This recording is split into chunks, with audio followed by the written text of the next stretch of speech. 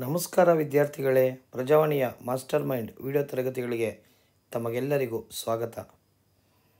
ಪ್ರಸ್ತುತ ಸಂಚಿಕೆಯಲ್ಲಿ ನಾನು ಚರ್ಚೆ ಮಾಡುತ್ತಿರುವಂಥ ವಿಚಾರ, ಯೂನಿಫಾರ್ಮ್ ಸಿವಿಲ್ ಕೋಡ್, ಏಕರೂಪದ ನಾಗರಿಕ ಸಂಹಿತೆ.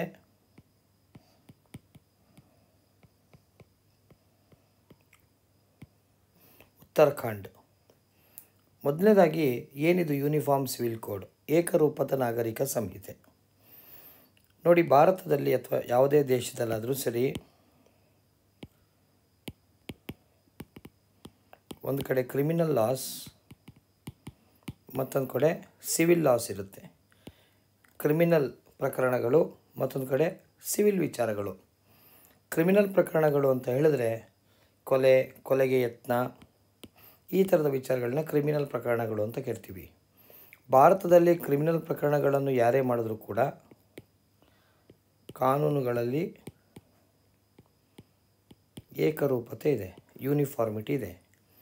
ಅದೇ ಏನಾದರೂ ಸಿವಿಲ್ ಪ್ರಕರಣಗಳೇನಾದರೂ ಆದರೆ ಸಿವಿಲ್ ಪ್ರಕರಣಗಳು ಅಂದರೆ ಏನು? ಮದುವೆ, ವಿಚ್ಛೇದನ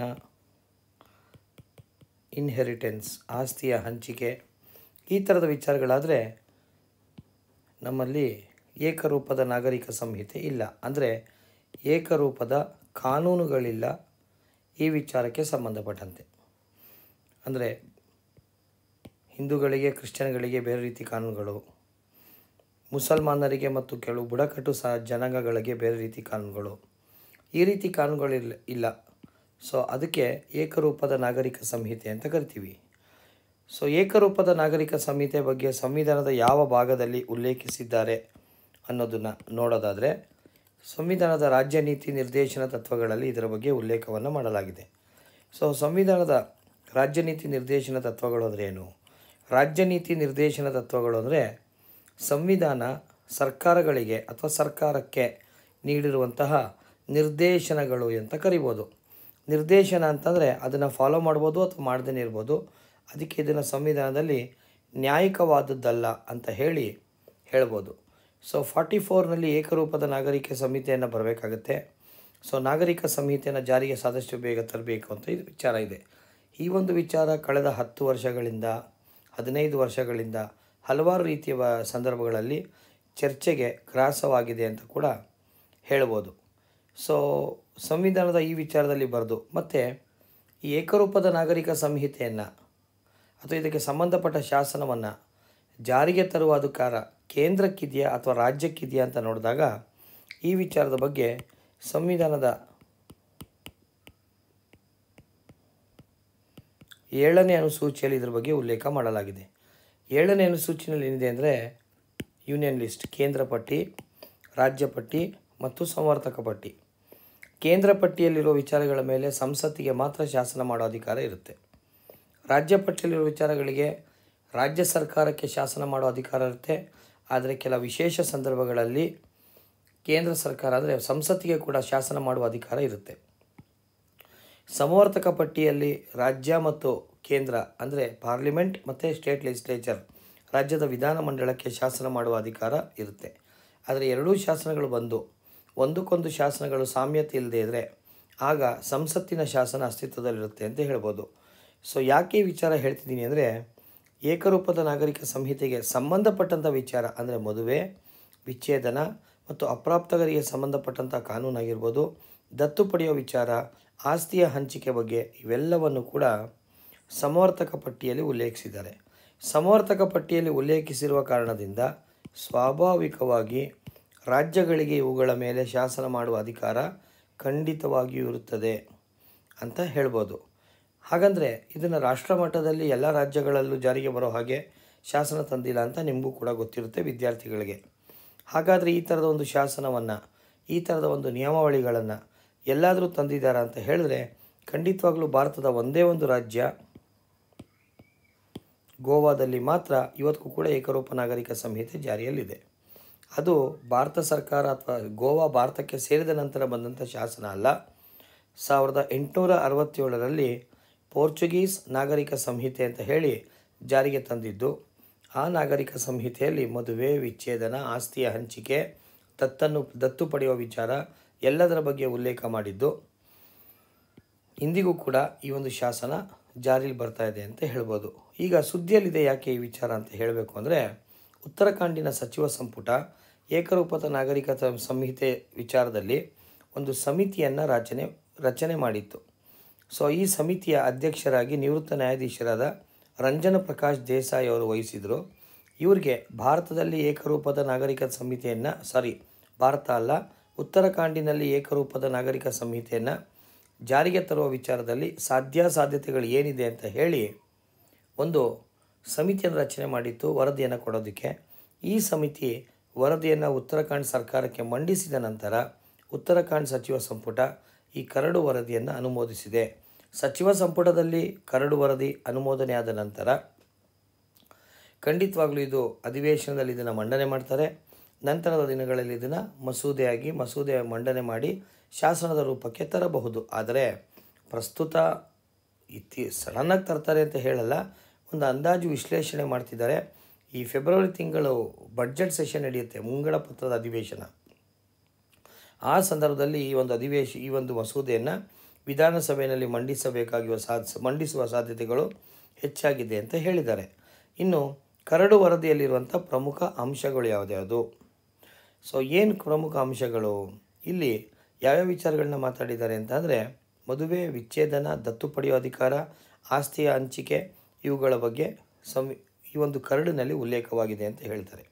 ಇದರ ಜೊತೆಗೆ ಬಹುಪತ್ನಿತ್ವ, ಹಲಾಲ್ ಪದ್ಧತಿ ಇದ್ದತ್. ಅಂದರೆ ಮುಸ್ಲಿಂ ಮಹಿಳೆಯರು ವಿಚ್ಛೇದನದ ನಂತರ ಕಾಯಬೇಕಾದಂಥ ಒಂದು ಕಡ್ಡಾಯದ ಅವಧಿ, ತ್ರಿವಳಿ ತಲಾಕ್ ಬಾಲ್ಯ ವಿವಾಹ ಮತ್ತು ಇವುಗಳಿಗೆ ಸಂಬಂಧಪಟ್ಟಂಥ ವಿಚಾರಗಳನ್ನು ಇದರಲ್ಲಿ ಪ್ರಸ್ತಾಪಿಸಿದ್ದು, ಈ ಎಲ್ಲ ವಿಚಾರಗಳಲ್ಲೂ ಕೂಡ ಏಕರೂಪದ ನಾಗರಿಕ ಸಂಹಿತೆ ಜಾರಿಗೆ ಬರಬೇಕು ಅಂತ ವರದಿಯನ್ನು ಈಗಾಗಲೇ ಮಂಡಿಸಿದೆ.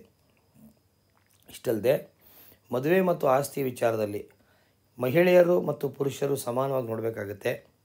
ಮಹಿಳೆಯರಿಗೆ, ಮುಸ್ಲಿಂ ಮಹಿಳೆಯರಿಗೆ ಅದರಲ್ಲೂ ಕೂಡ ಸಮಾನ ಆಸ್ತಿಯಲ್ಲಿ ಸಮಾನ ಹಕ್ಕನ್ನು ಕೊಡುವಂತಹ ಒಂದು ಅಂಶವನ್ನು ಕೂಡ ಕರಡಿನಲ್ಲಿ ಪ್ರಸ್ತಾಪಿಸಲಾಗಿದೆ ಅಂತ ವರದಿಯಲ್ಲಿ ಉಲ್ಲೇಖಿಸಲಾಗಿದೆ. ಮತ್ತು ಮದುವೆಗೆ ಸಂಬಂಧಪಟ್ಟ ಕೆಲ ಶಿಫಾರಸುಗಳನ್ನ ನೋಡಿ ನೀಡಿದ್ದು ಯಾವುದೇ ಬದಲಾವಣೆಗಳಿರೋದಿಲ್ಲ ಅದರಲ್ಲಿ. ಸೊ ಇಪ್ಪತ್ತೊಂದು ವರ್ಷದ ವಯ, ವಯಸ್ಸಿಗೆ ಪುರುಷರು, ಹುಡುಗರು ಮದುವೆ ಆಗ್ಬೋದು, ಪುರುಷರು ಮದುವೆ ಆಗ್ಬೋದು. ಹದಿನೆಂಟು ವರ್ಷ ವಯೋಮಿತಿಯ ನಂತರ ಮಹಿಳೆಯರಿಗೆ ಮದುವೆ ಆಗೋದಕ್ಕೆ ಅವಕಾಶ ಇದೆ. ಆದರೆ ಮತ್ತೊಂದು ಇಲ್ಲಿ ವಿಶೇಷ ಅಂಶ ನಾನು ನಿಮ್ಗೆ ಹೇಳೋಕ್ಕೆ ಇಷ್ಟಪಡ್ತೀನಿ. ಅನುಸೂಚಿತ ಬುಡಕಟ್ಟುಗಳು ಅಂದರೆ ಶೆಡ್ಯೂಲ್ ಟ್ರೈಬ್ಸ್ಗೆ ವಿನಾಯಿತಿಯನ್ನು ಕೊಟ್ಟಿದ್ದು. ಈ ಮಸೂದೆ ಜಾರಿಗೆ ಬರೋದಿಲ್ಲ ಈ ಪ್ರದೇಶಗಳಲ್ಲಿ ಅಂತ ಇದಕ್ಕೆ ವರದಿಯಲ್ಲಿ ಉಲ್ಲೇಖವನ್ನು ಕೂಡ ಮಾಡಿದ್ದಾರೆ. ಇನ್ನು ಇದಕ್ಕೆ ಸಂಬಂಧಪಟ್ಟಂತೆ ಸುಪ್ರೀಂ ಕೋರ್ಟಿನ ನಿಲುವೇನಾದರೂ ಇದೆಯಾ? ಮೊಹಮ್ಮದ್ ಅಹಮದ್ ಖಾನ್ ವರ್ಸಸ್ ಶಾ ಬಾನೋ ಬೇಗಂ ಪ್ರಕರಣ ಸಾವಿರದ ಒಂಬೈನೂರ ಎಂಬತ್ತೈದು. ಈ ವಿಚಾರದಲ್ಲಿ ಸುಪ್ರೀಂ ಕೋರ್ಟ್ ಏನು ಹೇಳಿದೆ ಅಂತಂದರೆ, ಇಲ್ಲಿಯವರೆಗೂ ಏಕರೂಪದ ನಾಗರಿಕ ಸಂಹಿತೆಯನ್ನು ಭಾರತದಲ್ಲಿ ಜಾರಿಗೆ ತರದೇ ಇರುವುದು ಒಂದು ವಿಪರ್ಯಾಸದ ಸಂಗತಿ. ಸಾಧ್ಯವಾದಷ್ಟು ಬೇಗ ಇದನ್ನು ಜಾರಿಗೆ ತರಬೇಕು ಅಂತ ಹೇಳಿ ಸುಪ್ರೀಂ ಕೋರ್ಟ್ ಸಾವಿರದ ಒಂಬೈನೂರ ಎಂಬತ್ತೈದರಲ್ಲೇ ಇದಕ್ಕೆ ಸಂಬಂಧಪಟ್ಟಂಥ ಆದೇಶವನ್ನು ಹೊರಡಿಸಿದೆ. ಇನ್ನು ಇನ್ನಿತರ ಪ್ರಕರಣಗಳ ಬಗ್ಗೆ ನಾನು ಮಾತಾಡಬೇಕು ಅಂದರೆ, ಸರಳಾ, ಮುದ್ಗಲ್ ವರ್ಸಸ್ ಕೇಂದ್ರ ಸರ್ಕಾರ ಸಾವಿರದ ಒಂಬೈನೂರ ತೊಂಬತ್ತೈದರಲ್ಲಿ ಬಂದಂಥ ಪ್ರಕರಣ. ಜಾನ್ ವಲ್ಲವೋಟೋಮ್ ವರ್ಸಸ್ ಕೇಂದ್ರ ಸರ್ಕಾರ ಎರಡು ಸಾವಿರದ ಮೂರರ ಪ್ರಕರಣ.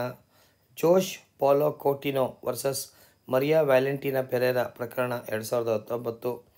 ಇದರಲ್ಲಿ ಸುಪ್ರೀಂ ಕೋರ್ಟ್ ಏಕರೂಪದ ನಾಗರಿಕ ಸಂಹಿತೆಯನ್ನು ಜಾರಿಗೆ ತರುವ ವಿಚಾರದಲ್ಲಿ ಗೋವಾ ರಾಜ್ಯವನ್ನು ಮಾದರಿಯಾಗಿ ಪರಿಗಣಿಸಿ ಯಾವುದೇ ಧರ್ಮದ ತಾರತಮ್ಯವಿಲ್ಲದೆ ಎಲ್ಲ ಧರ್ಮಗಳಿಗೂ ಕೂಡ ಸಮಾನವಾದಂತಹ ನಿಯಮಾವಳಿಗಳನ್ನು ಏಕರೂಪದ ಕಾನೂನನ್ನು ತರಬೇಕು ಅಂತ ಹೇಳಿ ಎರಡು ಸಾವಿರದ ಹತ್ತೊಂಬತ್ತರಲ್ಲಿ ಕೂಡ ಸುಪ್ರೀಂ ಕೋರ್ಟ್ ಇದನ್ನು ಹೇಳಿದೆ. ಆದರೆ ಕಾನೂನು ಆಯೋಗದ ನಿಲುವೇ ಬೇರೆ ಇದೆ. ಎರಡು ಸಾವಿರದ ಹದಿನೆಂಟರಲ್ಲಿ ಇಪ್ಪತ್ತೊಂದನೇ ಕಾನೂನು ಆಯೋಗ ಅಸ್ತಿತ್ವದಲ್ಲಿತ್ತು.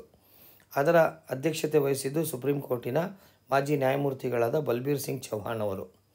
ಅವರು ಏಕರೂಪದ ನಾಗರಿಕ ಸಂಹಿತೆ ಜಾರಿಗೆ ತರೋ ಅವಶ್ಯಕತೆ ಇಲ್ಲ ಅಂತ ಹೇಳಿ ಒಂದು ವರದಿಯನ್ನು ಕೊಟ್ಟಿದ್ದರು ಮತ್ತು ಇನ್ನೊಂದು ವಿಷಯ ಉಲ್ಲೇಖಿಸಿದ್ದೇನೆಂತಂದರೆ ಜಾತ್ಯತೀತತೆ ಅಸ್ತಿತ್ವದಲ್ಲಿದೆ. ಭಾರತದಲ್ಲಿ ಧರ್ಮದ ಹೆಸರಲ್ಲಿ ನಡೆಯುವಂಥ ಆಚರಣೆಗಳು ಮತ್ತು ಸಮಸ್ಯೆಗಳು, ಪೂರ್ವಾಗ್ರಹ ಪೀಡಿತ ಚಿಂತನೆ, ಸಮಸ್ಯೆಗಳೇನಾದ್ರು ಇದ್ದು, ಅದರಿಂದ ಒಬ್ಬರಿಗೆ ತೊಂದರೆ ಆಗ್ತಿದೆ, ವೈಯಕ್ತಿಕ ಕಾನೂನುಗಳಿಗೆ ತೊಂದರೆ ಆಗ್ತಿದೆ ಅಂತಂದರೆ ಆಗ ತಿದ್ದುಪಡಿಗಳನ್ನ ತನ್ನಿ ಅಂತ ಕೂಡ ಹೇಳಿದರು.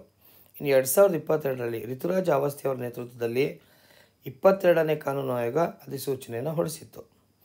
ಇಲ್ಲೂ ಕೂಡ ಅಷ್ಟೇ, ಈ ಏಕರೂಪದ ನಾಗರಿಕ ಸಂಹಿತೆಗೆ ವಿಚಾರಕ್ಕೆ ಸಂಬಂಧಪಟ್ಟಂತೆ ಎಲ್ಲ ಸಹಭಾಗಿದಾರರೊಂದಿಗೆ ಮಾತುಕತೆ ಆಗಬೇಕು ಅಂತ ಹೇಳಿ ಒಂದು ಆದೇಶವನ್ನು ಹೊರಡಿಸಿತ್ತು. ಇಲ್ಲಿ ಸಾಕಷ್ಟು ರೀತಿಯ ಕಾಳಜಿಗಳು ಕೂಡ ಇದೆ. ಏನದು ಕಾಳಜಿಗಳು? ಮೊದಲನೇದಾಗಿ, ಈ ಶಾಸನ ಬಂದರೆ ಮೂಲಭೂತ ಹಕ್ಕುಗಳು ಉಲ್ಲಂಘನೆ ಆಗುತ್ತೆ. ಯಾಕೆ? ಧಾರ್ಮಿಕ ಸ್ವಾತಂತ್ರ್ಯ ಮತ್ತು ವ್ಯಕ್ತಿಗತ ಸ್ವಾತಂತ್ರ್ಯ. ಇವುಗಳು ಧಾರ್ಮಿಕ ಸ್ವಾತಂತ್ರ್ಯದ ಭಾಗವೂ ಆಗುತ್ತೆ ಮತ್ತು ವ್ಯಕ್ತಿಗತ ಸ್ವಾತಂತ್ರ್ಯದ ಭಾಗ ಕೂಡ ಆಗುತ್ತೆ. ಇದೊಂದು. ಇನ್ನು ಕೆಲವರು ಸೋಷಿಯಾಲಜಿಸ್ಟ್ಗಳು ಹೇಳ್ತಿರೋದೇನು ಅಂತಂದರೆ ಭಾರತ ಒಂದು ವೈವಿಧ್ಯಮತೆ ಹೊಂದಿರುವಂಥ ರಾಷ್ಟ್ರ. ಇದರಿಂದ ಏನಾಗುತ್ತೆ? ವೈವಿಧ್ಯಮಯತೆಗೆ ಧಕ್ಕೆ ಆಗೋ ಚಾನ್ಸಸ್ ಇರುತ್ತೆ ಅಂತ ಇವ್ರದ್ದೊಂದು ವಾದ ಆಗಿದೆ. ಮತ್ತು ಮುಂದಿನ ದಿನಗಳಲ್ಲಿ ಅನುಸೂಚಿತ ಪಂಗಡಗಳಿಗೆ ಇದನ್ನು ಜಾರಿಗೆ ಇರುತ್ತಂದರೆ ಅವರ ಸಂಸ್ಕೃತಿ, ಸಂಪ್ರದಾಯ ಮತ್ತು ವೈವಿಧ್ಯತೆ ಮೇಲೆ ಸಮಸ್ಯೆ ಉಂಟಾಗ್ಬೋದು ಅಂತ ಕೆಲವು ವಿಶ್ಲೇಷಕರು ಅಂದಾಜಿಸಿದ್ದಾರೆ. ಒಟ್ಟಾರೆಯಾಗಿ ಏಕರೂಪದ ನಾಗರಿಕ ಸಂಹಿತೆ ಒಂದು ಚರ್ಚೆಗೆ ಗ್ರಾಸವಾದಂಥ ವಿಚಾರ ಯಾವಾಗಲೂ ಆಗಿರುತ್ತೆ. ಇದರ ಪರ ವಿರೋಧಗಳನ್ನ ನೋಡಿ ಯಾರಿಗೂ ಕೂಡ ಸಮಸ್ಯೆ ಆಗದ ರೀತಿಯಲ್ಲಿ ಜಾರಿಗೆ ತರಬೇಕಾಗುತ್ತೆ ಅಂತ ಹೇಳ್ತಾ ನನ್ನ ವಿಡಿಯೋ ಮುಗಿಸ್ತಾ ಇದ್ದೀನಿ. ಮತ್ತೊಂದು ವಿಡಿಯೋದಲ್ಲಿ ನಿಮ್ಮನ್ನು ಭೇಟಿಯಾಗ್ತೀನಿ. ಧನ್ಯವಾದ.